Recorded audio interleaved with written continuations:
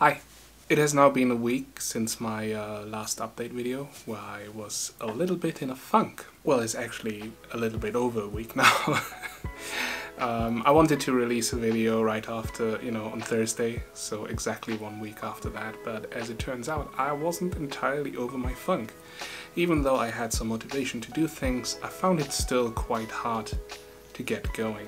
But yeah, in, in order to sort of, you know, get back into the mood of creating things and doing something, I first had to kind of clean up my environment a little bit um, because it was actually a li little bit of a mess, to be honest. Um, now that can be seen as another form of procrastination, right? Procrastinating by cleaning the house instead of uh, doing what I wanted to do or wanted to focus on to actually, you know, continue the Game Boy assembler and produce something. But I think it was kind of necessary to do that. The last few days I have been working on the Game Boy assembler and actually rewrote a big chunk of it um, just to simplify it a little bit.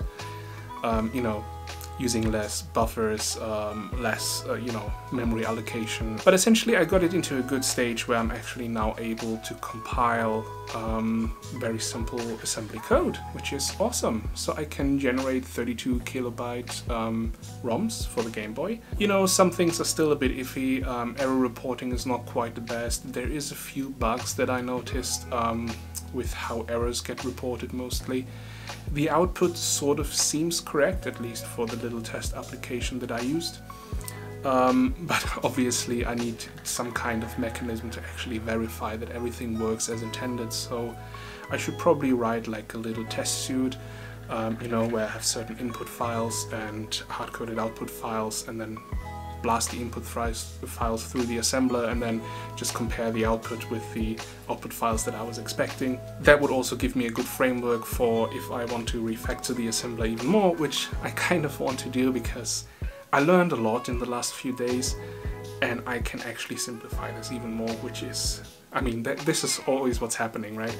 Um, I approach something where I have no idea how to do it and just you know, hack it out and as I sort of hack in I realize certain mistakes I've made or things I can I can do differently and stuff like that. So I usually go back and then refactor. I held back to refactor while I was writing even though I noticed I could already simplify a few things because I just wanted to get it done. And yeah, and now I actually have something that's that's able to produce some some very basic ROMs which I'm really excited for. So I could essentially start working on like a few Game Boy games if I wanted to. I will explain in detail how the assembler works in like uh, a few videos, um, you know, showing a few bits and pieces of the code and how they work and how you could actually write your own assembler if that's something you're interested in for, let's say, I don't know, the Nintendo Entertainment System or some different machine, you know. They're all kind of similar. Once you get the basic structures out, I think there's not much, you know, difference between them. It's, it's just a matter of figuring out the ROM layout and how it works and then the instructions that you're allowed to use. Um, of course you could extend the assembler all the way you want with like, you know, macros and all these kind of things if, if you're so inclined, but um, let's be honest, that is way beyond what I wanted to do. It's not like it is a commercial product or anything, it's just something for myself to play around with and, you know, I'm kind of proud with, with what I got going. But anyways, uh, let's not talk more about it. Let me let me show you how it works. Okay. So as you can see, this is my main.c file. This is the only C file I have in my project. Everything else is just a header file that I'm including in this main.c file. And this is the main function. So this is all there is to it, essentially. The input file name and output file name are hard-coded at the moment. And the first thing I'm doing is I'm creating a symbols table. Now a symbols table is essentially just a hash map where I store all the necessary keywords that the parser should recognize, all the assembly instructions that you can see in the assembly file such as LD, CP, jump, any user-defined label such as await vblank, a3 point, copy tile map, those will also be added to the symbol table as the program parses the file. The next step is to create the output ROM. Now that is essentially just a byte buffer, you know, where I allocate 32 kibs uh, immediately for the output ROM, and then everything the parser is parsing will be written into that specific buffer, which will then be written out into the file at the end. So then I'm creating the parser, uh, there's a bunch of things happening in here. Uh, the parser, um, actually let me open this. The parser will open the source file in a read-only mode this is essentially just a memory map into the file. Um, I'm also initializing the tokenizer. Now a tokenizer is something like a lexer. I mean, it, it, it is a lexer, essentially, it is the same thing. Uh, it will then parse a sequence of characters and essentially create a token out of it. That's why I called it a tokenizer. And then the parser itself, um, once we call GBA parser run, as you can see, it will just work on tokens, no longer on characters. So it will fetch the next token in our token sequence and then see what kind of token we have. There's a bunch of tokens such as new line, white space, directive or identifier.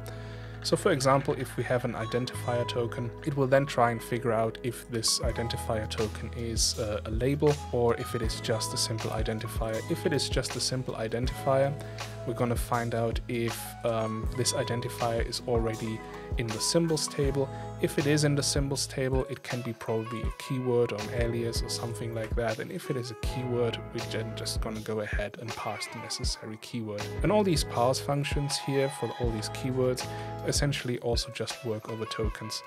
It's all very similar. They all just um, fetch the next token, look what it is. Is it something that we're expecting? If yes, process uh, process it and then write the output into the output file. If it is something that we don't expect, print an error, continue with the next line. Then after the file has been parsed, uh, I also have this little debug here where it just sets the header uh, data at the moment. Uh, then all that's left to do is basically writing the ROM into the output file that just essentially creates an output uh, ROM file, uh, dumps in all the bytes of this ROM buffer, and then closes the file again. That's it.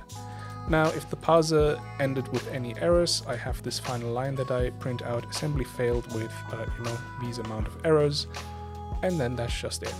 That is the whole program. So one thing that I simplified a lot is uh, you see no free method here. I'm actually allocating memory but never freeing it because I'm using the heap that is associated with my process and when the process dies, so does all the memory that I have allocated, so there's actually no reason to free it. Now, but let me show you how it works. So there's this website called gbdev.io with some assembly tutorials and they have this hello world assembly file and my goal was to just be able to compile this one. There were a few syntax changes like um, so their assembler that they're using for the file had these uh, square brackets for indirection, while the official Gameboy manual is using normal brackets for these indirections, uh, but I just boiled it down to one character, which is the star. But that is essentially the program, and now let's compile it. So as you can see, I have the program.gbasm right here. That is this file, which is where the hard-coded path points to. I start the assembler and that is it, it's done. Uh, don't pay attention to those debug lines here, they don't essentially mean anything. It's just for me because I was debugging something and I was curious. So uh, for now, just ignore that output. But here we have the program.gb file, as you can see, 32 kilobytes, which is the smallest ROM you can generate and then you can open this file in the hex editor and then see well this is the header this is where our program starts this is the whole program output and then there is the tail data that that begins and the tile set down here I have Visual um, Boy Advance, which is an emulator copied into this folder right here. And if we double click on this one, we can say open Game Boy and we can open the program.gb that we just generated and there you go we have in Hello World application. I just successfully compiled Game Boy ROM with my own assembler. And that's about it for the assembler.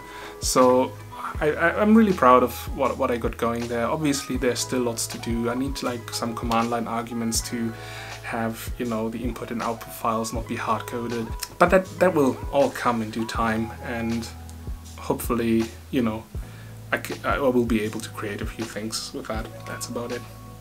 Thanks for watching. Bye.